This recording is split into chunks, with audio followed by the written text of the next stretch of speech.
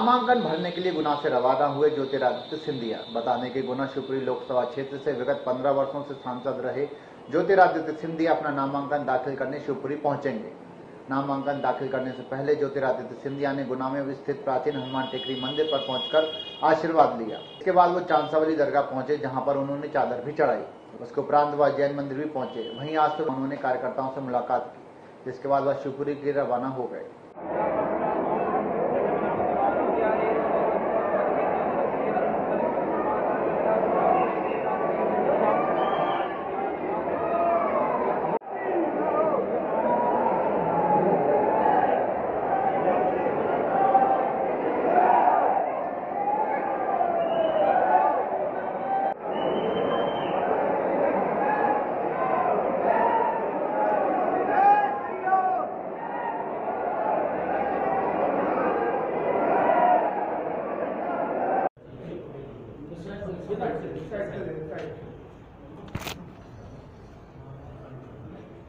जनाब सलीम अंसारी साहब सलीम अंसारी साहब